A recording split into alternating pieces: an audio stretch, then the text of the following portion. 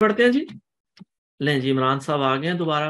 Okay जी last section है जी deliver a memorable presentation के साहब, वक्त आन पहुँचा है कि हमने जो इतनी मेहनत की है, अब तक उसका हम फल खाएँ, उसका समर पाएँ कि हमने अब डिलीवर करना है। तो डिलीवरी के एस्पेक्ट में जी, पहला इंप्रेशन बड़ा इंपॉर्टेंट है। और उसके अलावा फिर, जो डिफ़िकल्ट सिचुएशंस होंगी उन्हें हैंडल करना बड़ा ज़रूरी है। लास्ट वीक भी रिजवान साहब ने एंड पे एक सवाल किया था। तो उस सवाल क्यू एंड ए सेशन में मैंने उसको भी एड्रेस करने की कोशिश की थी कि वो बंदा तंग कर रहा हो। इस तरह मैंने कहा कि हमारे एक सेशन फेलो ने, अल्लाह भला करे, पता नहीं वो कहाँ होंगे।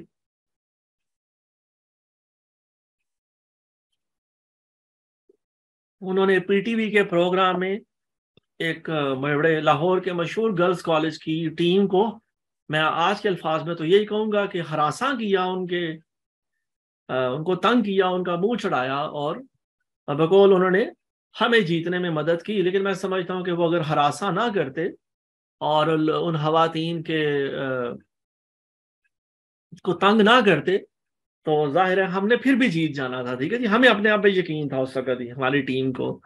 अल्हम्दुलिल्लाह आगे बढ़ते हैं सर। कैसे अब ये मेमोरेबल प्रेजेंटेशन होगी जी? ये जो जैसा तस्वीर बताई गई है, ये हाथों बड़ी खुश है। तो उसके लिए है जी इट्स शोर टाइम अब वो वक्त आन पहुँचा है कि सारी तैयारी के बाद बाद में आप यह सर शोर टाइम है। तो उसमें पहला इंप्रेशन बड़ा इंपॉर्टेंट होता है जी, ठीक है? फ़र्स्ट इंप्रेशन कहा जाता है इज़ द लास्ट इंप्रेशन उसके अलावा ये मैनेज करना कि लोगों को आप कैसे दिख रहे हैं, सुन रहे हैं, ये बड़ा इंपॉर्टेंट है। फिर जो मुश्किल सवाल आप रिजवान साहब आपके लिए हाथ है। रिजवान साहब मौजूद है ना? मुझे नज़र आए थे। रिजवान साहब देखें वही सवाल जो पिछले हफ़्ते से चल रहा है। मैंने अपनी चैट बॉक्स खोला रिजवान साहब पार्टिसिपेंट लिस्ट देखी। तो हैंडल एंड डिफ़िकल्ट सिचुएशन इसको भी हम देखेंगे। Respond to question and comments इसे भी देखेंगे।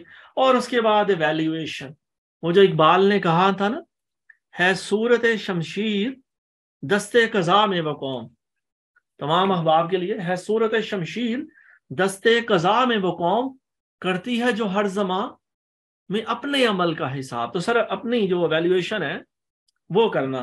तो ये इन एस्पेक्ट्स को देखते हैं जी हम। इन ताला सेक्शन में सारे सेक्शन ही अपनी जगह इंपॉर्टेंट थे तो ये ज़ाहिर है जाते जाते अब आखिरी हिस्से में। सर, पहला इंप्रेशन कैसे बेहतर किया जाए? How we can make a great first impression तो उसमें पहला जो स्टेप है, वो है गेट सेटल्ड ठीक है कि आपने स्पीकर नोट्स लेकर आए हैं, जो भी पर्चियाँ पढ़नी है आपने, जो टॉकिंग पॉइंट्स है ना, वो आपके पास है।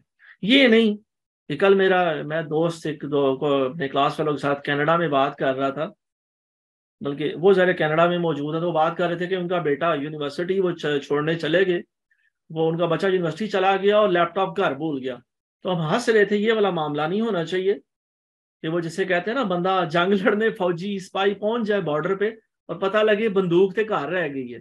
तो गेट सेटल्ड में जी, आपका ज़रूरी है कि स्पीकर नोट्स आपका लैपटॉप आपकी स्लाइड्स ठीक है जी, सारा कुछ आपके पास हो तो आपके कॉन्फिडेंस लेवल अच्छा होगा और आप, ज़ाहिर है आपका इंप्रेशन अच्छा पड़ेगा। शो अप अर्ली जी, अच्छी अच्छी सजेशन है कि लोगों के आने से पहले पहुँचे, ठीक है नंबर तीन give them something to look at कोई अच्छा सा कोट ठीक है जी? आ, कोई कोटेशन कोई पिक्चर कोई क्वेश्चन ठीक है जी? कुछ ना कुछ लोगों को बताएँ दिखाएँ ताकि लोगों की क्यूरोसिटी बढ़े। और चौथी सजेशन है बी वेलकमिंग ठीक है जी? लोगों की तरफ़ कमर नहीं करनी ठीक है जी? मुस्कुराने। अगर तो स्माइलिंग फेस है जैसे मैंने कहा तो अल्हम्दुलिल्लाह अल्लाह की बड़ी करम नवाजी है। और अगर स्माइलिंग फेस नहीं है सपाट चेहरा है आपका तो फिर भी कोशिश की जा सकती है कि वो इवन आप एग्जाइटी स्ट्रेस महसूस कर रहे हैं और तो आप फिर भी कोशिश करें कि यार जो है अल्लाह भला करे आ, जो है मैं लोगों की तरफ़ मुस्कुराऊं और अपने स्ट्रेस को अपनी टेंशन को ज़ाहिर ना होने दूँ। तो बी वेलकमिंग जी। आगे बढ़ते हैं सर बल्कि लोगों से आप ये इस्लाम दुआ भी करें किसी अगर आप जानते हैं किसी को नहीं जानते तब इस्लाम दुआ करें और जानते हैं तो उससे कुछ एक छोटा सा मुकालमा करें। मैं यहाँ इस चीज़ का भी इजहार एतराफ़ करूँगा कि मैं अपनी प्रीवियसली मैं इस चीज़ को अहमियत नहीं देता था स्मॉल टॉक को। मैं आ, लोगों से छोटी छोटी बातें नहीं करता था। लेकिन अब अल्हम्दुलिल्लाह मैंने इस चीज़ का एहसास मुझे हो गया कि जो स्मॉल टॉक होती है ना मौसम के बारे में बात करना क्या हाल चाल है हैं जी? आप, आपके आपके कपड़े बड़े अच्छे हैं, आपकी गाड़ी का रंग बड़ा प्यारा है, ये छोटी छोटी बातें अहम है तो ये बी वेलकमिंग यही के पैराडाइम में आती हैं। अभी सर ये सेशन यहाँ मुकम्मल हो रहा है, ये स्लाइड तो इसी लिंक पे दोबारा मैं आप अहबाब से इस्तदा करूँगा रिक्वेस्ट करूँगा कि अभी आप ज्वाइन करें तो हम इन ताला थोड़ी देर में इस स्पील को, अपनी प्रेजेंटेशन को मुकम्मल कर लेंगे इन ताला। तो जी तीन चारों चीज़ें अपनी जगह हमें गेट सेटल्ड होना शो अप अर्ली इसे सर हम शुरू करते हैं जी, इसी चीज़ को तो हम देख रहे हैं, बस मुकम्मल करते हैं। हमने कहा कि ये चीज़ें बड़ी इंपॉर्टेंट है, ये शॉर्ट टाइम है। अब आपका वक्त है, सामने आप आ गए हैं। तो जब आ गए हैं तो ये करने वाले काम है। सबसे पहले सेटल होना ज़रूरी है, जल्दी पहुँचना ज़रूरी है। लोगों को कुछ ना कुछ दिखाएँ, कुछ सुनाएँ, है जी? और फिर चेहरे पे मुस्कुराहट और जो है, लोगों के साथ स्मॉल टॉक चिट चैट करना बड़ा ज़रूरी है, ठीक है? वो सड़े हुए, बैंगन की तरह ना मुँह बना के और वो जिसे कहा था ना एक बंदे ने कहा दूसरे बंदे से पूछा, भाईजन, पढ़े लिखे हो? तो बंदे ने जवाब दिया था एवं सड़िया बलिया फिरना। तो वो ज़ाहिर है, सर, ये सड़ा बला फिरना ना हर गिज प्रोफेशनल होने की और पढ़ा लिखा होने की ये निशानी नहीं है। पढ़ा लिखा होने की निशानी है। कहा जा रहा है कि make a great first impression ji. Be welcoming आगे बढ़ते हैं जी। People form impression about a leader's competence in as little as a half a minute लो जी, बड़ा इंपॉर्टेंट पेपर है रेफरेंस है कि लोग आधे मिनट में थर्टी सेकंड्स में आपकी कॉम्पिटेंस के बारे में राय कायम कर लेते हैं। लोगों को पता लग जाता है। टीचर को भी पता लग जाता है। कि इनकी प्रेजेंटेशन तैयार है या नहीं? ये तैयारी करके आए हैं कि नहीं? तो ये बस याद रखिएगा ये आधे मिनट की गेम है, है? आधा चुटकी बजने में पता लग जाता है। तो नेक्स्ट टाइम जब ये अपनी प्रेजेंटेशन तैयार करें तो इस आइडिया को ये लीडर्स के बारे में और प्रोफेशनल की कॉम्पिटेंस के बारे में याद रखिएगा ये साहब। ये बेंच मार्क है ठीक है? कि आधे मिनट में अंदाज़ा हो जाता है।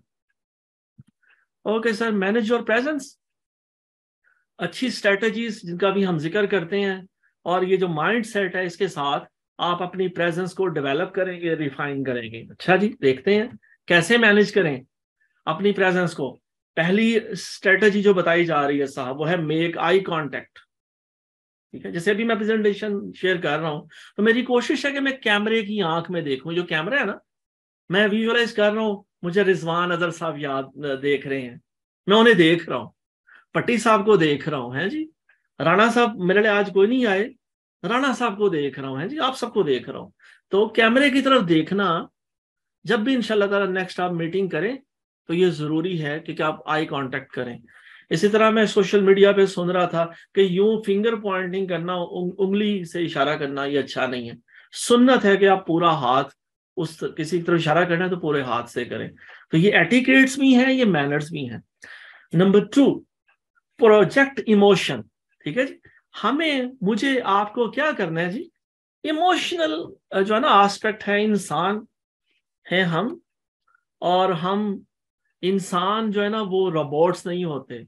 इंसान मशीनें नहीं है। तो इंसानों के जज्बात हैं। इंसान किसी वक्त खुश होते हैं, दुखी भी होते हैं।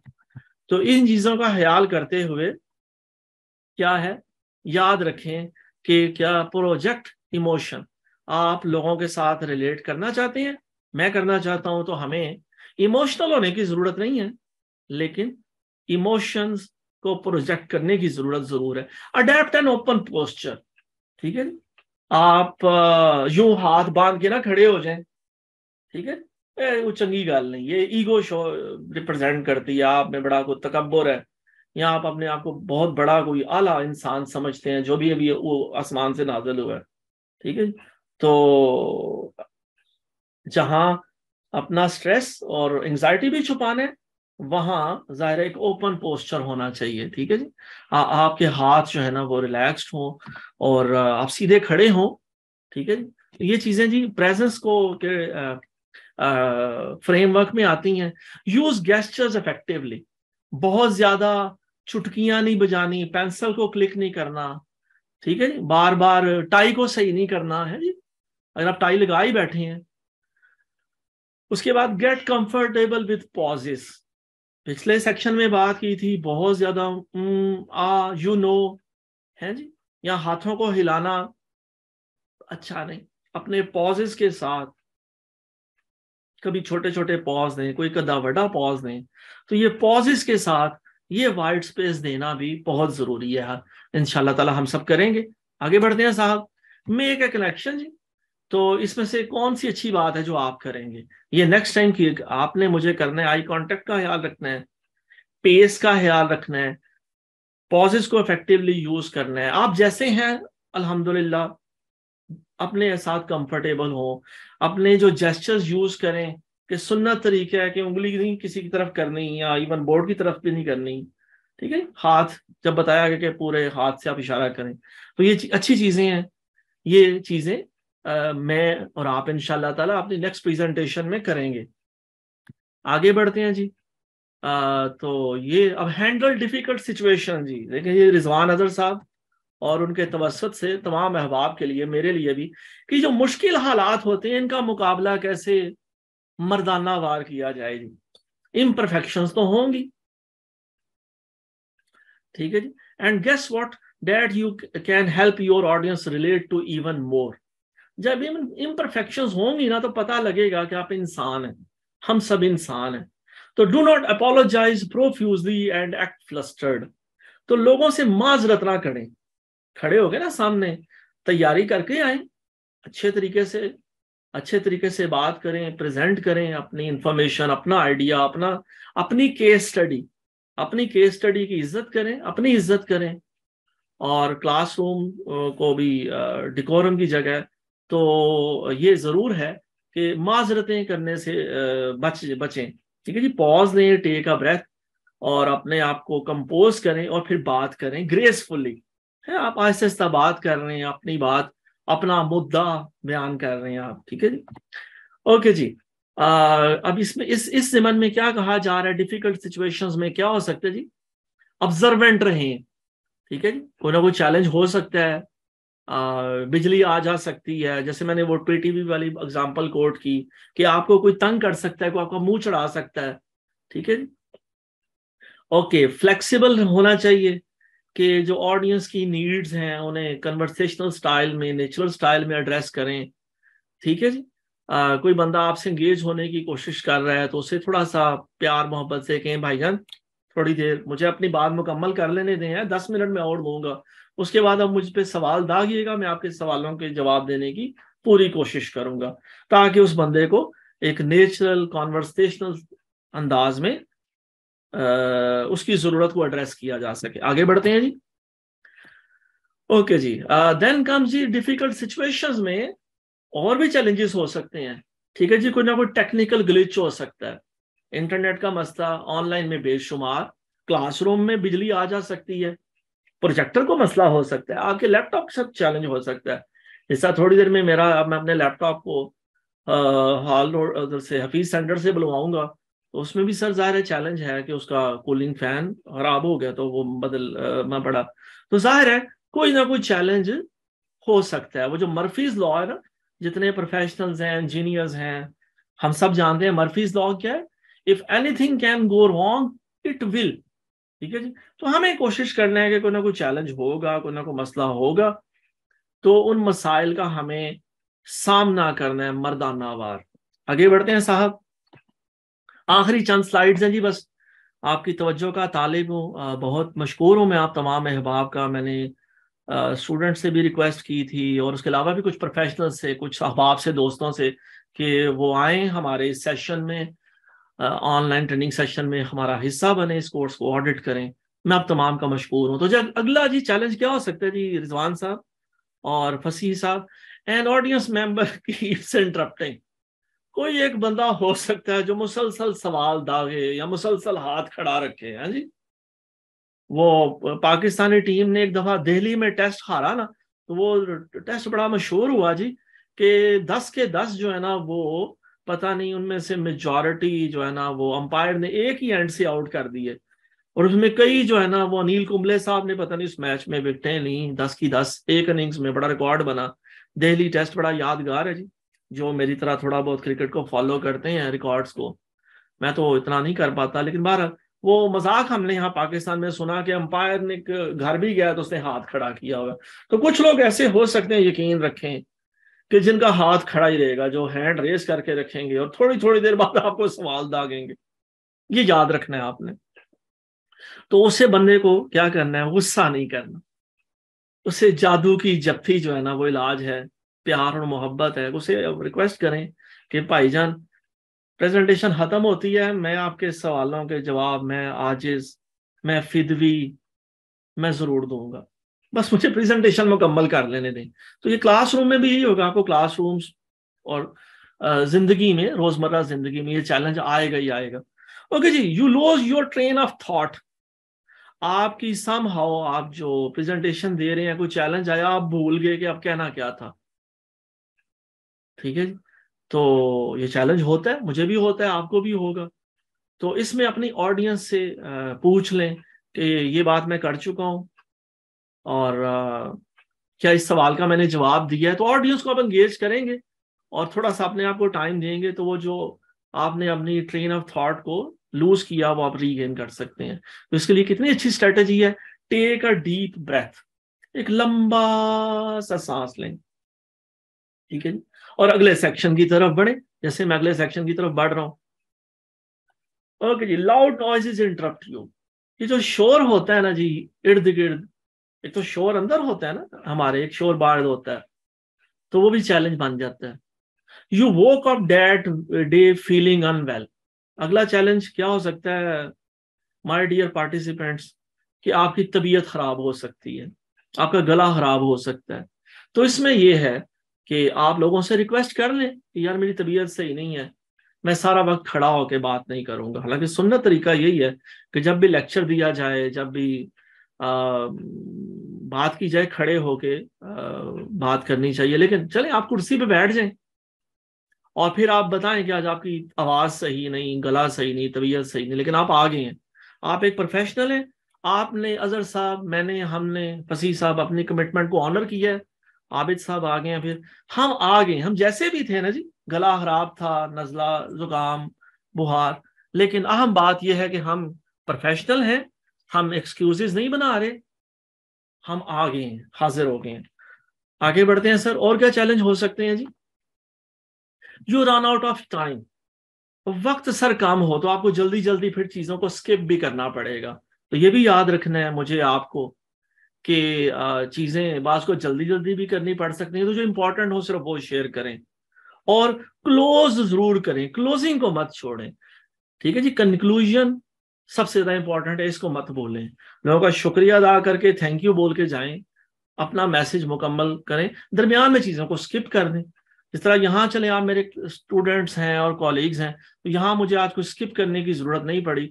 हम स्मूथली चल रहे हैं अल्हम्दुलिल्लाह आगे बढ़ते हैं sir but question and comments are a good thing ठीक है this show that your audience members are listening and engage during talk तो सर क्वेश्चन आंसर सेशन बड़ा इंपॉर्टेंट है। लोगों से पूछें उनके क्वेश्चंस कोई कमेंट कोई क्वेरी कोई अच्छी बात आपको लगी हो, कोई कम अच्छी बात लगी हो, ज़रूर लोगों के साथ इंटरेक्ट करें। लोगों को अहमियत दें, अपनी ऑडियंस को अहमियत दें। ठीक है जी?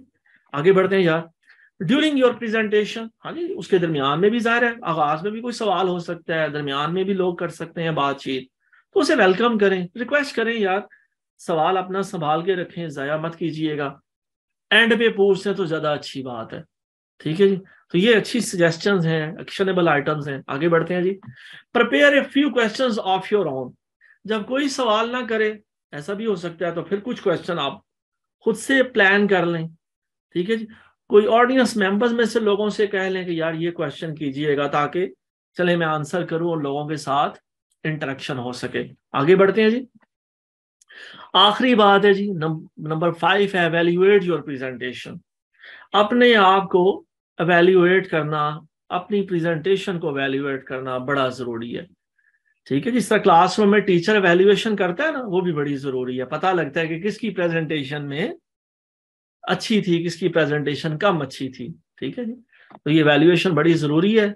तो सर, यहाँ ये एंड आखिरी स्लाइड पे हम पहुँच रहे हैं कि पहला इंप्रेशन बड़ा अहम है। आपकी प्रेजेंस बहुत अहम है। मुश्किल जो हालात सिचुएशन आएँगे, उनमें अपने आसाब को काबू में रखना बड़ा ज़रूरी है। जो बंदा तंग कर रहा हो, तंग नहीं होना, ठीक है और इवन कुछ क्वेश्चंस आप अपने तरफ़ से भी प्लांट कर सकते हैं, दे सकते हैं। और आखिरी बात क्या है? अवेल्युएट करना बड़ा ज़रूरी है। तो यहाँ सर जो है, ये चीज़ें ज़रा एक्शन वाली हैं, करने वाली हैं। आप, मैं, हम इन ताला अपनी आने वाली प्रेजेंटेशन में चीज़ों का ख्याल रखेंगे, करेंगे। ये मेरे रेफरेंसेस हैं, कुछ किताबें हैं, कुछ आर्टिकल्स हैं, ये डाउनलोड कीजिएगा, पढ़िएगा, देखिएगा। तो यहाँ ज़ाहिर है, ये अख्तामी लम्हात में मैं आगाज़ पे दोबारा चला जाता हूँ। ये हमारा टॉपिक था। तो मैं अल्लाह की ज़ात का भी मशहूर हूँ, आप लोगों के भी तवज्जो का, वक्त का, कोशिश का। और उसका भी मैं शुक्रिया अदा करता हूँ कि हम ये कर पाए, अल्हम्दुलिल्लाह। और टेबल ऑफ़ कंटेंट्स में हमने प्लानिंग की बात की थी, पिछले ही सेशन में स्ट्रक्चरिंग की बात की थी। डिज़ाइन की बात की थी, आज हमने डेटा की बात की है, कैसे प्रेपरेशन करनी है, उस एस्पेक्ट को हमने अल्हम्दुलिल्लाह एड्रेस किया है। और आखिर में हमने बात की है, आखिरी सेक्शन था कि कैसे मेमोरेबल और बड़ी यादगार तकरीर या प्रेजेंटेशन की जा सकती है, जिसमें टीचर मजबूर हो अवेल्यूएटर मजबूर हो कि वो आपको कहे, यार मेरे पास दस ही नंबर थे, नहीं तो मुमकिन होता मुझे, अगर कानून इजाज़त देता, मैं तुम्हें दस से ज़्यादा नंबर देता।